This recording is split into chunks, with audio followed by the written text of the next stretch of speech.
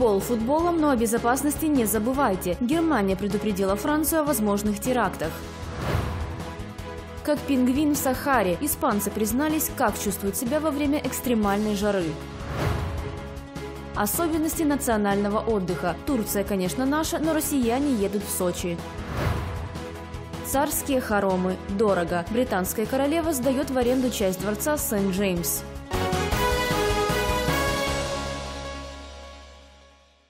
Если сборная Франции будет играть в финальной игре на чемпионате Европы 2016, это может стать желанной целью для террористов из группировки «Исламское государство». Об этом предупредил министр внутренних дел Германии Томас де Мезьер.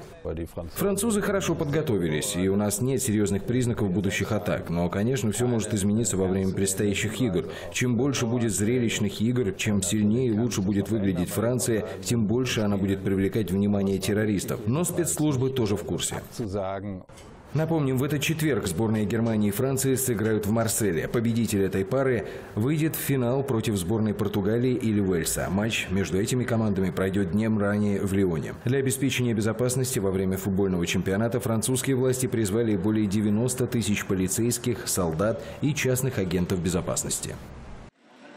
Испания страдает от экстремальной жары. На юге в городе Кордова на прошлых выходных температура воздуха поднялась до 44,5 градусов. Такие же высокие температуры были зафиксированы в Гранаде, Бардахосе и Севилье. Из-за небезопасной ситуации Испанская метеорологическая служба повысила уровень тревоги до желтого цвета. Так, на выходных температура в столице Мадриде была около 38 градусов. Метеорологи предупреждают, что на этой неделе она может еще повыситься. Желтый уровень тревоги означает, что температура поднимется до 36,6 6 градусов. Если столбик термометра повысится до более чем 38,6 градусов и продержится так в течение трех дней, соответственно, уровень тревоги повышается до наивысшего красного. Жители и гости страны переживают такую жару очень тяжело.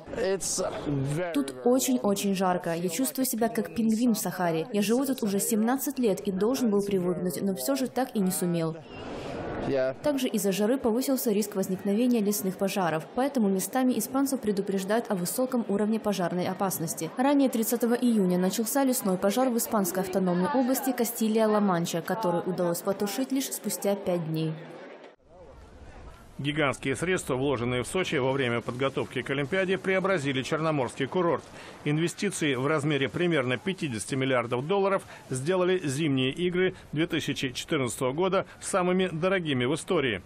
Сочи остается спортивным городом. В 2018 году на Олимпийском стадионе пройдут некоторые матчи чемпионата мира по футболу. Отдыхающие говорят, что инфраструктура и сфера услуг изменились к лучшему, но и на солнце бывают пятна. Такого мнения придерживается Наталья из Ростова. Появилось больше возможностей для туристов. В качестве э, Сочи стала как, э, практически как Европа. Но, конечно же, русский менталитет не исправить. Обслуживание именно местного, местного населения оставляет желать лучшего. А так, в целом, э, как бы затраченные деньги себя оправдали. Другая ростовчанка Елена Василенко говорит, что несмотря на общее позитивное впечатление от Сочи, властям стоило бы уделять больше внимания общественной безопасности. Конечно, до Олимпиады город изменился в лучшую сторону. Здесь стали лучше дороги, лучше дома, инфраструктура стала лучше. Но есть, конечно, и минусы. Полиция плохо работает, я считаю, ее очень мало для курортного города. Рубль потерял половину своей стоимости по отношению к доллару и еще больше к евро от падения цен на нефть и западных санкций, введенных против России из-за ее роли в украинском кризисе. Это отразилось и на ценах в Сочи. Но относительно невысокие транспортные расходы и цены в рублях в определенной степени компенсируют потери.